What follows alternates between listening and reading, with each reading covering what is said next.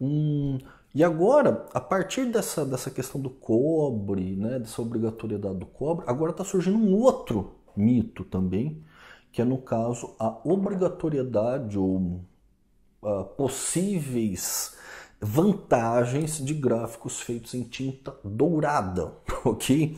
Também agora você está criando esse mito e também ele é meio recente até onde eu sei, ok?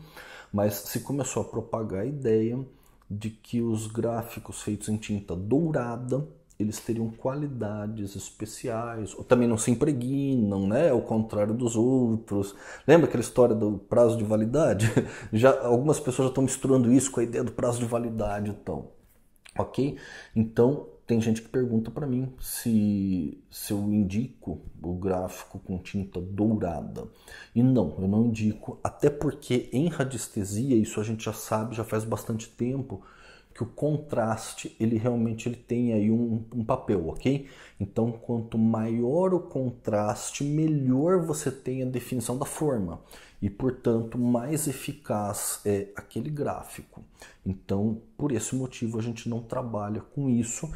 E, mais uma vez, são ideias que não têm um pedigree, né? elas não, não surgem através realmente de estudos, surgem muito através da posição e da opinião de, de algumas pessoas. Né?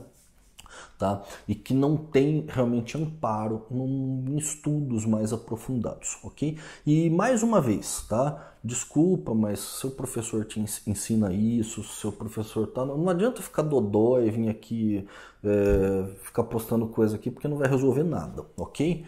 É, a gente está falando aqui de décadas de, de estudos, experiências e tudo mais, né?